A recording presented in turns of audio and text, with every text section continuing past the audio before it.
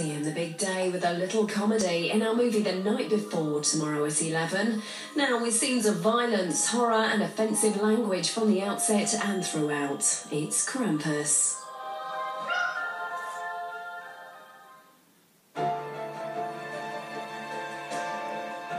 Snuggle up this Christmas. Dreams Bed sponsors movies at Christmas on 5.